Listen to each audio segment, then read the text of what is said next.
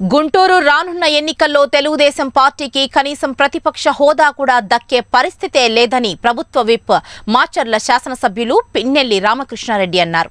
తన కార్యాలయంలో నిర్వహించిన సమావేశంలో ఆయన మాట్లాడారు. ముఖ్యమంత్రి జగన్మోహన్ రెడ్డిని ఏకవచనంతో మాట్లాడితే తగిన మూల్యం చెల్లించుకుంటారని హెచ్చరించారు. టీడీపీ నేత అయ్యన్న పాత్రుడికి కనీసం రాష్ట్ర హోంమంత్రి ఎవరూ కూడా తెలియని పరిస్థితిలో ఉన్నారని ఎద్దేవా చేశారు. ప్రతిపక్ష పార్టీ నేతలు ప్రజలకు సేవ చేయడంలో సలహాలు ఇవ్వడం మానుకొని ముఖ్యమంత్రిని తిట్టడమే పనిగా పెట్టుకున్నారని చెప్పారు. మాజీ ముఖ్యమంత్రి చంద్రబాబు నాయుడు శవ రాజకీయాలు మానుకోవాలని కోరారు. దొడ్డిదారిన పార్టీని ఆక్రమించుకొని ముఖ్యమంత్రి అయిన నీవా నీతులు చెప్పేది అంటూ ఆగ్రహం వ్యక్తం చేశారు. ప్రజలంతా వైసీపీ వైపే ఉన్నారని ఎన్నికల ఫలితాలు ఇందుకు నిదర్శనమని అన్నారు. ఈ కార్యక్రమంలో వైసీపీ రాష్ట్ర యువజన విభాగం ప్రధాన కార్యదర్శి వెంకటరామిరెడ్డి మున్సిపల్ చైర్మన్ తురక కిషోర్ పాల్గొన్నారు. రాష్ట్ర వ్యాప్తంగా ఎంపీటీసీ కౌంటింగ్ ఈరోజు ఉదయం నుంచి ఎనిమిది గంటల నుంచి కూడా జరుగుతూ ఉంది. ఈరోజు ఫలితాలు చూస్తూ ఉంటే జగన్మోహన్ రెడ్డి గారి పాలనకు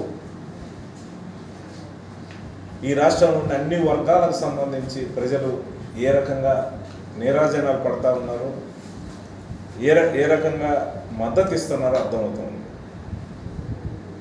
ఈరోజు స్థానిక సంస్థల ఎలక్షన్స్ ఏది చూసుకున్నా కూడా మున్సిపాలిటీ కానీ కార్పొరేషన్ కానీ నిన్న జరిగిన పంచాయతీ కానీ ఈరోజు లెక్కింపు జరుగుతున్న జెడ్పీటీసీ ఎంపీటీసీ స్థానంలో పది శాతం పది శాతం కూడా గెలుచుకోలేని టీడీపీ నాయకులు ఈరోజు అనవసరంగా కూడా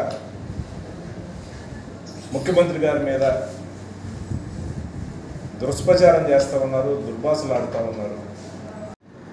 దాన్ని పట్టుకొని దాని మీద దానివల్ల లబ్ధి పొందాలని శవాలను అడ్డం పెట్టి శవరాజకీయం చేయడానికి చంద్రబాబు నాయుడు ఇటు లోకేష్ పూనుకున్నారు తప్పితే ప్రజలకు సంబంధించి నిర్దిష్టంగా కూడా పోరాటం చేసే పరిస్థితి ఈరోజు తెలుగుదేశం పార్టీలో కనిపించట్లేదు.